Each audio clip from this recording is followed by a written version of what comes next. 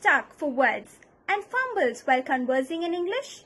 Would you believe if I told you that kids between the age of 4 to 9 have got to master 100 phonic rules and recognize 3000 words by just a glance with a reading speed of 100 words per minute?